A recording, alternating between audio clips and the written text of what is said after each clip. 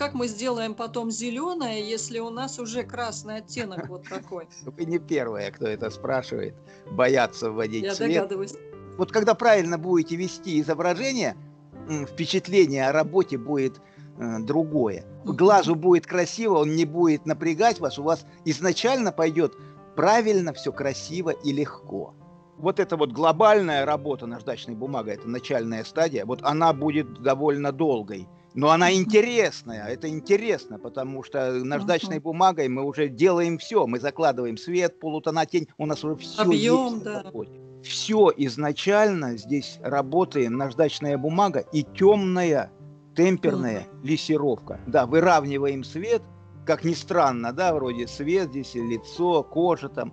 Не обращайте на это внимания, просто делайте правильно. Вот Мгм. эти, этими двумя работаем Инструментами. инструментами, да.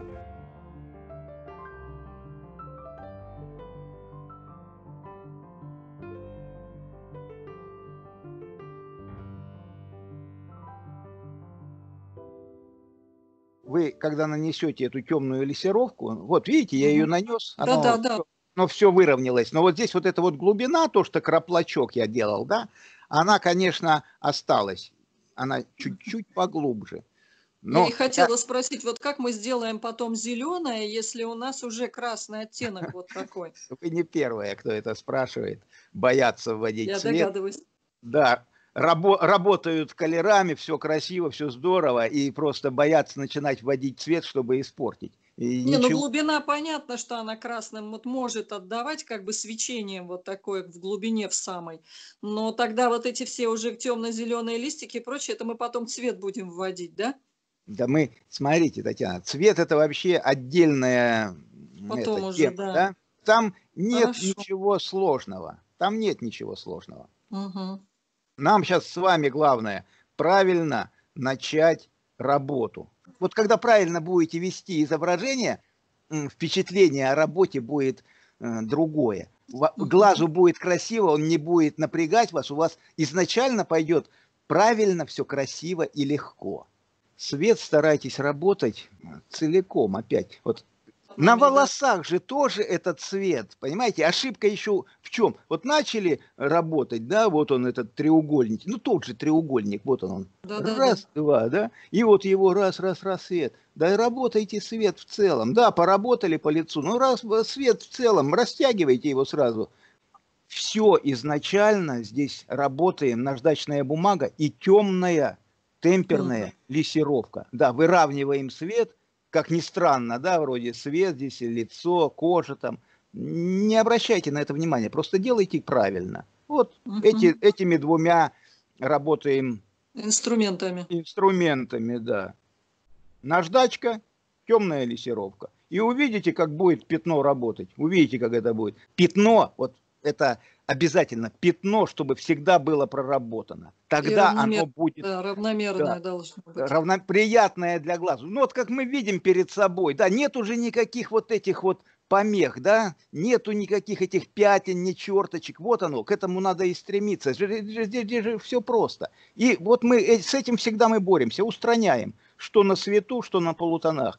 Смотрите, свет проработали, сразу увидите, что вот этот вот место вот этого полутонов, оно будет проваливаться. Даже когда вы слегка свет взяли, сделали, тут же надо будет полутончик, чуть-чуть. Но его, естественно, еще мягче. Это же полутончик, да? Свет у вас чуть это, а полутончик потихонечку вообще наждачкой раз, чуть помягче. Чтобы здесь опять была вот эта вот гармония. Свет и полутон, чтобы они между собой смотрели вы, чтобы они в целом смотрелись вместе. Не э, вылазил свет, не проваливался полутон. И Ну то да. же самое полутончики этим же темным. Видите, здесь все очень легко. Минимум средств. Минимум Мгм. средств. Надо просто знать, как их применять. И все, и работа пойдет.